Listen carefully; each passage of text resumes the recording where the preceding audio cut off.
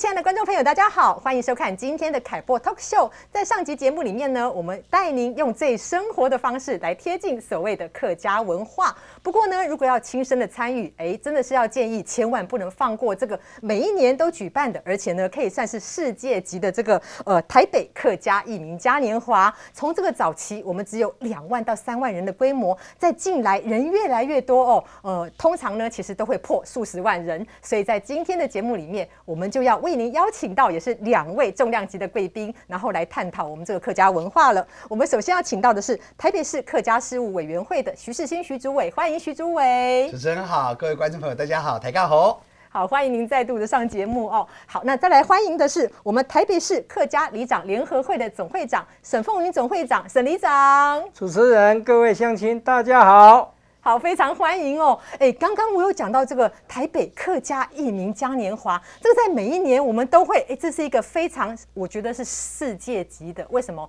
因为有跟世界连线嘛。如果他没有办法来参与的话，我们在这个呃全世界的天涯海角都可以用是直播嘛，直播的方式来放送。没错，哎，真的是非常的精彩。为什么每一年都会吸引这么多人？您觉得这个特色它的魅力在哪里？我想第一个呃，艺名祭典类是。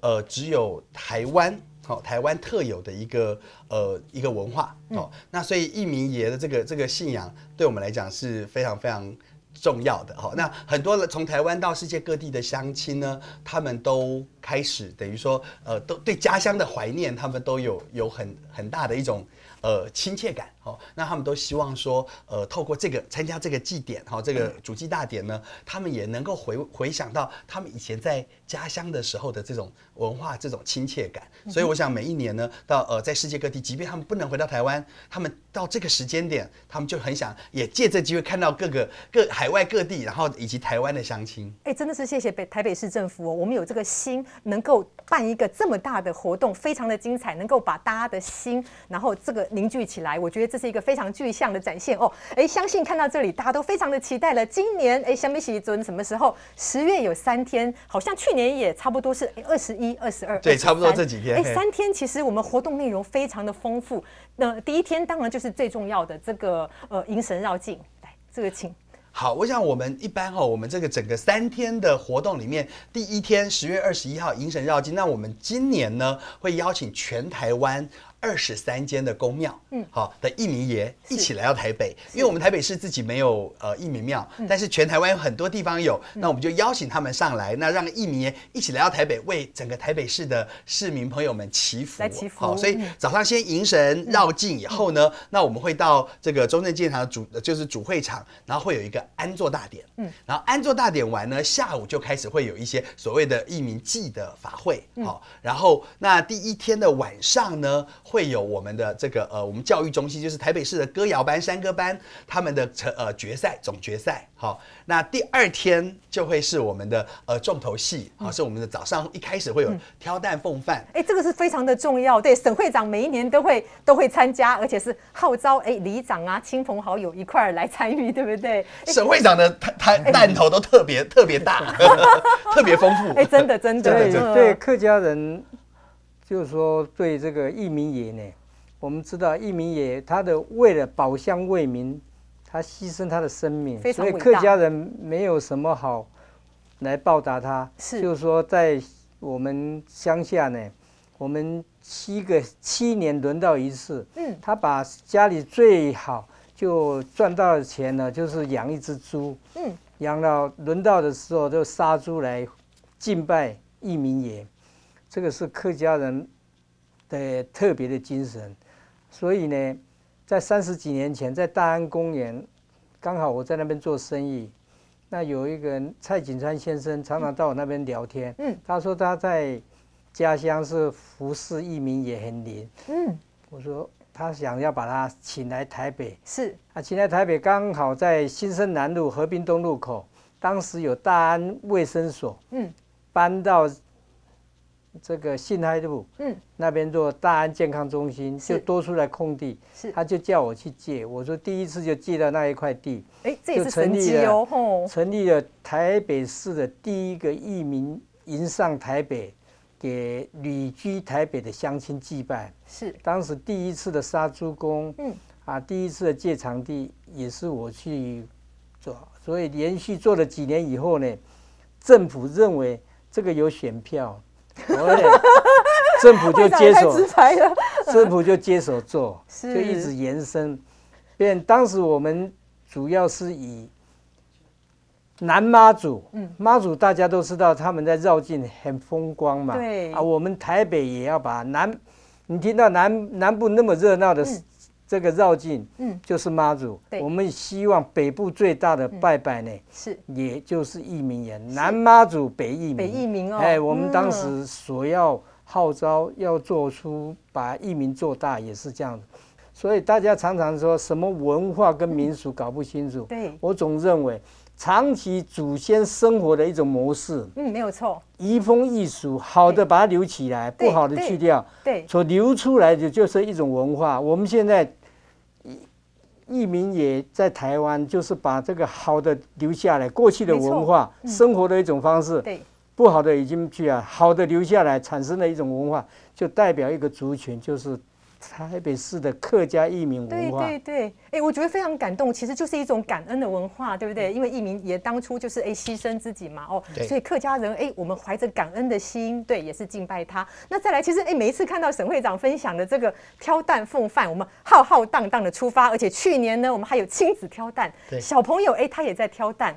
我觉得这是一种身教呢。其实对客家朋友来讲，身教好重要。对，因为我们觉得，呃，让孩子亲身去体验，嗯，他们可能过去对客家文化的熟悉度不高，可是当他开始挑担，然后我们开始跟他解说这个内容的时候，他就会发现，哦，原来这个就是他所他所不过去不熟悉的客家文化，原来长这个样子。是。那未来呢，他们再去接触到客更多客家文化的时候，他会有一种亲切感，而且甚至我觉得他多参与几次后，他慢慢会变成生活的一部分。对，所以我觉得当他变成生活一部分以后，他就不会觉得客家跟他有距离了。是，好，从这个生活当中慢慢的开始。所以第二天挑担奉饭，哎，创意彩街这个是大家更更嗯期待的。比方说，我记得去年好像有一些颜色，比方说红色、蓝色啊，一些呃代表客家性的颜色出来了。今年是有什么会让人家眼睛一亮、有期待的？OK，因为去年的创意彩街本来我们是要走到那个。呃，西门町，就后来刚好要采街是下午，那是周呃一点半的时候，就突然下了大雨，哇！那所以后来我们就决定在中正纪念堂内里面来做，这这等于说这个绕一圈就没有真的走到这个西门町。那今年我们还是希望，因为那那去年的那个时候，很多人在西门町等，对，就等着希望看到这个创意彩街走啊，对对对，因为像像我们这一次呃，我们每一年的创意彩街都有世界各国。的团队也都会穿他们的服饰一起参加，然后还有我们自己本身传统的艺名，就是客家信仰或是客家民俗的服饰。那所以我们一直很希望说，呃，这个创意产业以前商它。呃，创意彩间跟挑担风帆是合在一起，就只有早上。嗯，那在几年前呢，我那时候刚来客委会的时候，我觉得，呃，既然彩街，我们就让它是真单纯的彩街，像嘉年华会一样，对对对，开开心心的巴西的嘉年华那种感觉。对对对。所以我们就希望说，那时候花车，我们也做了大的花车，然后就开始整个走走这个呃台北市的街道哈，让大家彩街的一起很开心的一起在沿路跟大家挥挥手。那我觉得这个是第二天我们觉得很重要。那当然第第一天呃第二天的早上挑担风帆晚上是会。先有主祭大典，但是就是全世界连线的那个，然后这个大典完到中午了以后，这个午饭后就接着创创意彩街。那创意彩街完回到这个呃中正纪念堂，我们的晚上会有这个艺名之夜的音乐会。哦，好，哎，这感觉是很新的新的这么一个节目。这是一个，这是就是我们晚上都是创呃，应该说流行音乐。嗯，好，我们传统的在早上，然后先把我们精神力量凝聚以后呢，哎，下午我们来个嘉年华会，开始呃，不能讲变装走秀啦，哦，就是希望大家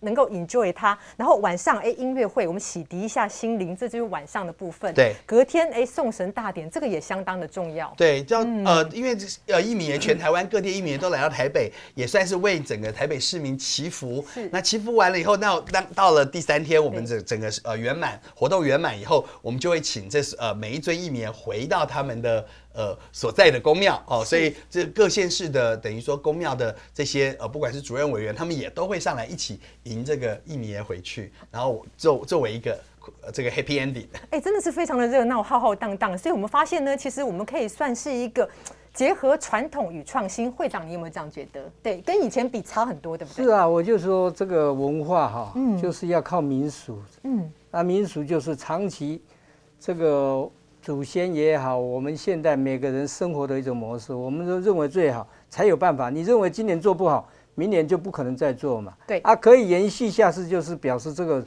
符合时代的人的这一种生活的一种模式的文化，啊，传承下来就变成以后子子孙孙所追寻的一个文化。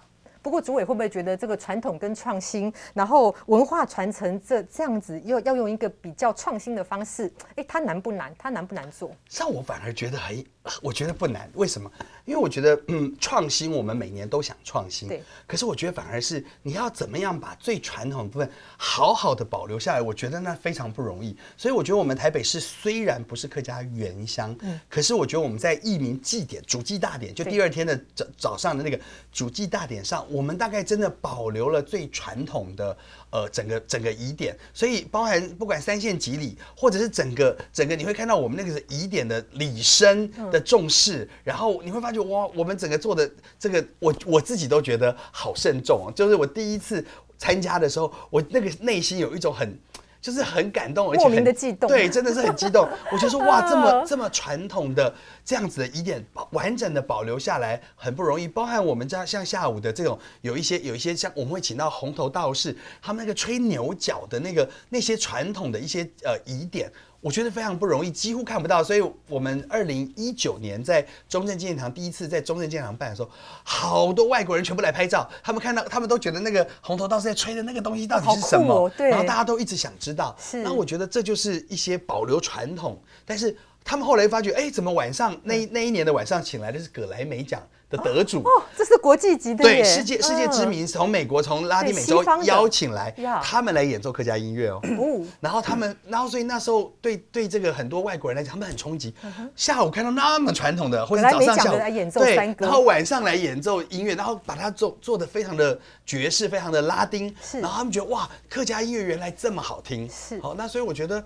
呃，要保留传统反而很困难，很辛苦。但创新，我觉得我们随着时代与时俱进，我们一一步一步努力。好，哎，不过虽然我们这个呃时间还没到啦，但是其实大家都一定翘首盼望，相当的期待。主委，我们偷偷的透露一下，今年跟去年有什么不一样的特色？增加了好多东西。对，小编非常的辛苦，我知道。对，我想今年出了这个主题，对，主题叫做“省道几时”，哎，省到几时哈？广东话。对，这个呃，大家看到 SDGs，这就就是，这不是环保？对，世界联合国的永续发展目标哈。那这个，因为我们后来发现。在在我们今年四月二十二世界地球日的时候，我们办了，我们跟很多环保团体一起合办，是突然发现大家都觉得，原来客家文化跟客家传统民俗，甚至客家老祖先传承下来的东西，原来跟联合国的永续发展目标几乎十七项不谋而合。是那也因为这样呢，那我们就想说，那我们要把这样的文化，这样子我们客家老祖先的。文化传承告诉大家，所以我们就想一想，哎，主题可以是什么呢？因为过去人大家都觉得客家人很省啊，然后节俭啦，节俭，对对，因为我们爱物惜物，毕竟生长的环境，对，祖宗生长的环境不是那么很很辛苦，对，所以以前大家觉得省，那以前觉得省好像不是一个太好听的名字，可是现在不一样喽，现在你会省真的很了不起哦，是美对不对？所以我们我们就这一次就用了这个主题，叫做省到几时，念起来桑都几时，刚好是桑都。基西，哎，英文也可以，就完全我们是英文，所以刚好刚好跟这一一模一样，太所以我们那时候就说，哇，这个这个主题真的太好。对，然后我们大家看到这个这个后面这个文波纹哦，实际上是是花朵吗？啊，看起来是花朵，对不对？它实际上是用 AI 人工生成的声波，这声波里面讲的是什么？就是客家的五种腔调，四海大平安哦，四线海陆大埔饶平诏安的五种腔调，分别念桑多基西。省就是分别念省到几十，不同的颜色代表不同的它是不同的腔调，然后念出来的波纹，所以它上它的波并不是一致的哦。然后所以很有趣。那我们是希望说，今年第一个就是我们会大力的让大家认识客家老祖先千年前就开始推的这个呃传统的美德，跟联合国永续发发展目标一模一样哈。然后第二个，哎，这就是特别想跟大家介绍，今年我们有个很大的特色是亲子专区哦。好，那这亲子专区呢，呃，我们有除了这个。叫做大型迷宫啊，小朋友的故事迷宫之外呢，小朋友的福利来了。哎，对，然后我们有一个大型的说故事区，这个大树大故事屋哈，那这这有做一棵树在那边，让孩子呃让大家介绍我们自自己出的绘本。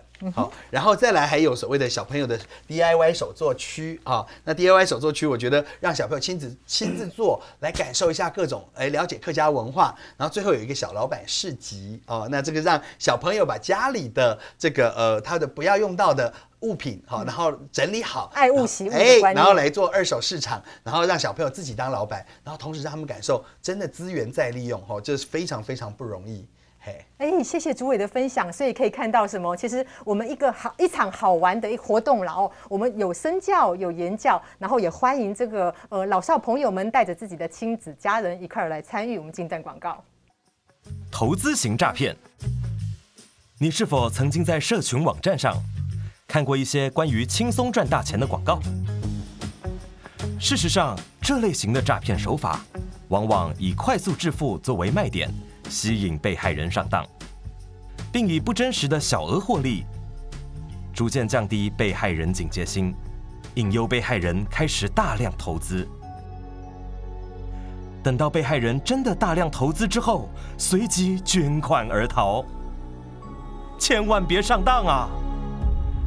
轻松致富多陷阱，脚踏实地最实在。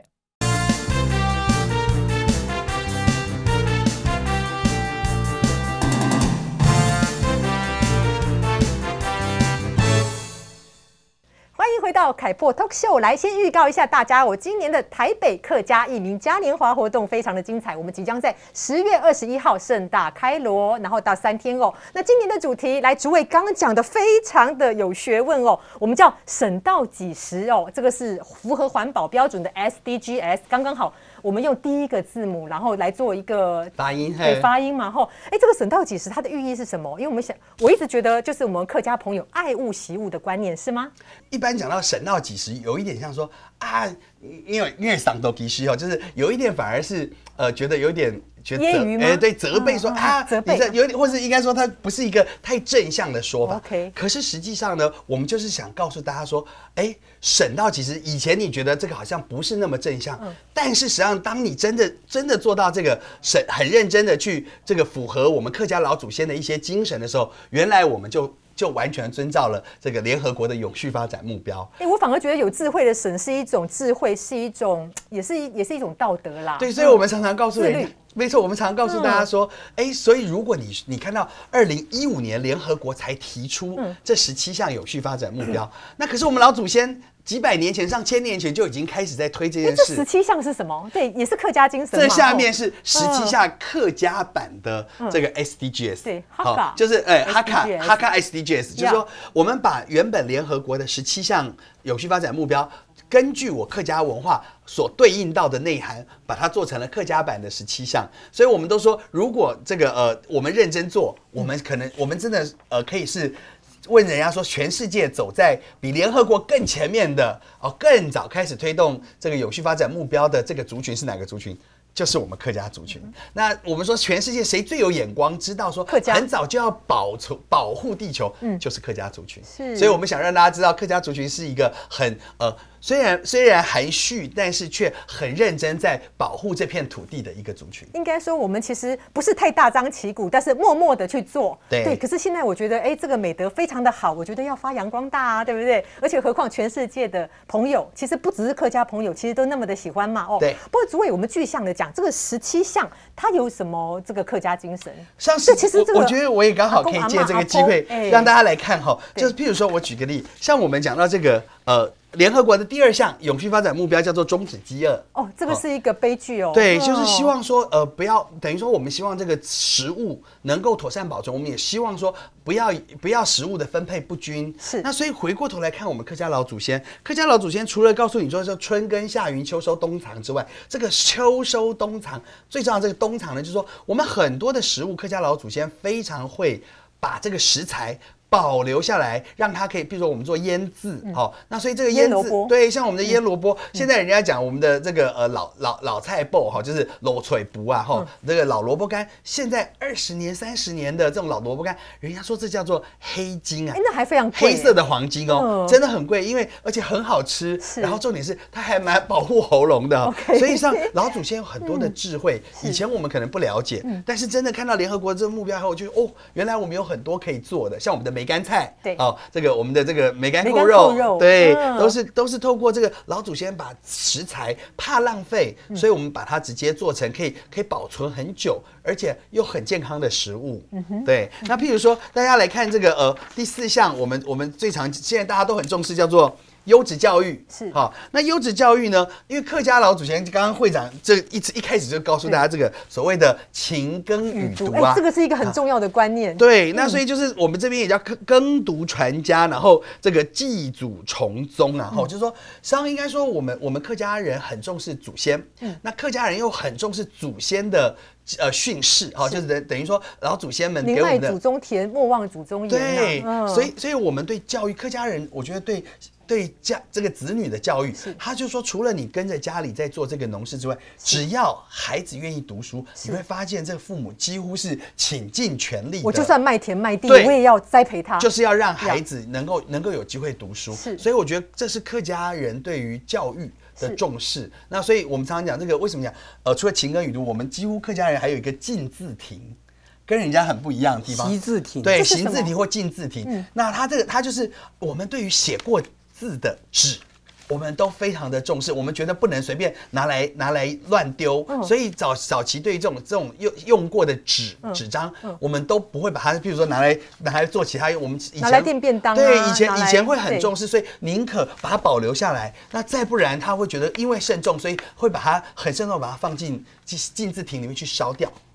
哦等于说不让它不让它被让这个文字的这个被人家拿来乱乱使用，这样，所以是这是客家人对教育的重视。其实这个是一个，我觉得就是呃，我们从祖先传到我们后代的这样一连串的观念哦。不过，其实从新到旧，我们都其实有不一样的展现。比如说，哎，今年我们的这个呃宣传海报，哎，这个我们连航海王都出来了。其实我这样子对照一下，其实我突然发现，看完电影以后，我觉得这个真的有符合这个客家的特色。为什么？因为先民渡海来台开垦嘛，哎，这么的辛苦，就像他们冒险犯难一样。对，我们就很想让大家每个人都是知道说，鲁夫人像 哎，每个人 每个人都会感觉，原来客家跟你那么亲切，客家的精神上就也愿意去开垦，愿意去呃付出，愿意去这个等于说勤呃勤劳勤劳的去面对每一个挑战，所以你会发看到这样子的精神，真的跟客家精神是非常结合的。主委觉得他这个设计怎么样？那我觉得他等于说，哦，我，们的这个先翻译一下，对，哦，永续精神，挨走是挨走地雷啊，哈，就是我这个叫做。传统我们认为联合国永续发展目标这样的精神上，我早就知道，我早就知道意思是说，我们客家人很早就已经在身体力行，就在做了。嗯所以这个挨走死地类啊，哈，这个嗯对对对对对。好而且会长都会也常常也跟我们一起到这个呃新浦义民本庙，这个就是哦本庙对新浦义民本对庙。然后我们每一年义民祭之前，我们都会先到新浦一民本庙去参拜，然后也跟本庙的一民爷报告说我们是哪一天嗯要办这个一民祭。所以像每一次这样去，大概都浩浩荡荡好几台游览车哦，然后都是呃客家各社团理事长，嗯然后还有客家乡亲，还有我们各教育中心台北台北市的山歌班啦，然后舞蹈班各种客家班队的班长，几乎大家都会一起去，所以浩浩荡荡，很慎重哦。我觉得就是凝聚客家朋友们的一个人心的力量。其实这个也是，哎，这个也不简单。嗯，这对，是什么？像我想，这个米龙是传统哈，就是我们对于一些呃，等于说疑点里面，我们很慎重。那所以这个像这这个是在实际上是我们的在春之庆典的时候，我们为了要对这个新丁新知，所谓新丁新知就是新生儿宝宝哈，这个男男宝宝叫新丁，女宝宝新知哈。那我们在要帮他祈福的时候，所以我们办的一个有点像是呃祈福法会活动。那这这特特别是用米去做出的一条龙，这整个都是米白米哦，然后米做成龙，然后我们把这个十元硬币就像鳞片一样放在那里。那祈福完之后呢，我们会把这些鳞片收收起来，就十块钱，然后发给大家作为祈福的祈福币。是嘿，然后那最主要也是希望说，在新生儿宝宝就是还满未满周岁的这些新生儿宝宝祈福，然后也希望这个呃宝宝们能平安、健康、快乐长大。然后所以这也是很重要的客家传统仪传统仪典之一。哦，所以说客家的传统仪典，我们就是哎，当这个义民祭嘛，这个是一个最大的庆典，因为义民爷毕竟是我们的信仰中心对。那像刚刚主委分享的，这个是对我们新生儿宝宝对对的一种哎，我们最表达最实际的祝福。哎，还有哪一些呢？还有哪些重要的节日？我记得哎，先前您有分享过天川日，对，我记得是在年初。是正月二十，嗯嗯，农历正月二对十，哦，就是这一天，我觉得也很是最符合我们常讲这个 SDGs 的概念，嗯因为以前以前早期都说是因为这女娲补天嘛，哈，就是在讲五说色石啊对，嗯五色石，那因为他在讲说这个天破一个洞，像你仔细想想。在很早以前，可能长辈们就已经认为什么？认为这个呃大气层破了个洞，好、那所以需要去补，对不对？那所以他告诉我们，这个呃正月二十为什么要呃所有的客家人已经很勤劳了，可是怎么会叫你到正月二十才开始工作？我们一般不是大年初五就开工，然后就开始上班吗？但是呢，为什么要告诉你正月二十那一天还休息到那一天才开始上工？第一，除了老祖先认为这样子保养身体，可以让身体得到最适当的休养。你辛苦了一整年，你应该要好好的调养身体，让身体成呃回到一个最佳化状态。第二，土地。它让土地的那个休养生息，不是就是很快的又要在就不断的消耗这个土地的能量，所以他们认为要让土地达到适当的休养，好休耕休养之后，然后才开始再来这个播种。哎、其实哎、听完主委这样分享，我就觉得哎、客家的朋友很有智慧。为什么？因为其实我们所作所为都是根据的这个呃人体的一些就是、呃、五行五行、啊对对对，其实这个非常的符合，也是符合医学养生之道啦哦。不过讲到这边，其实客家的文化真的好多好多，非常多。我们讲到其实信仰中心，刚刚有讲到义民爷，我突然又想到一个，这个是很多人常常都会看到出现的一个字眼，对客家的族群来讲非常的重要。伯公，对伯公这个信仰，据说是好像我知道有很多地方，比方说他管地呀、管水呀、任何地方都管，甚至我们结婚呐、我们都会请伯公。伯公其实就是你们的土地公吗？会长是吗对？，这个过去客家人在渡台的时候，经济条件不是很好，是所以呢，我们的寄托除了有的就把那个三山国王带过来，嗯，哎、对，三山国王也非常的重要。但是呢，真正保护地区的呢，就像现在的村长、里长一样，就保护地区，嗯就像您所以这样就叫做伯公。是。啊，伯公呢，你要花钱，当时经济状况不是很好，也不容易拿钱，但是呢，就在大树下面呢，就用石头叠起来，就长期把这个每每天去换茶、点香，初一十五就会去，我们称为万神茶。那个茶，我们换的那个茶变成神茶了。嗯嗯。还要祭拜，要烧金点香，跟伯公禀报，嗯。说某某地址呢，嗯。住在哪里，嗯今天是什么，我们呢准备了这个清香跟清茶来祭拜你，请你保佑我们。嗯来跟伯公报告哎，对，后来慢慢形成呢。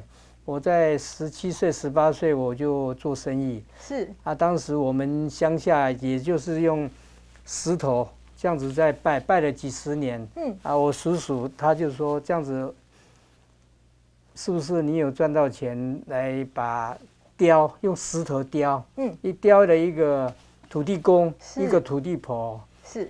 啊，我们在那个中立开光点眼，是。就那个师傅就开光点眼做法事做完，哇，我们就这样子抱着浩浩荡荡的敲锣打鼓。是。走了一个多小时，抱到那个我们乡下的那个做的那个土地公庙小庙，嗯哼。啊，结果当时呢，民国六十几年、七十几年，是。大家都很盛行嘛，是。啊，那个就变成很灵的一个土地公，结果我那土地公、土地婆都被人偷走，哇 太灵哇，验了。这太灵了哦！嗯不过会长当时您是以一颗感恩的心，哎，我们把这个福德，然后也希望大家都能够嗯，跟我们一起分享嘛。哦，对，我觉得这个善心是非常非常的棒的。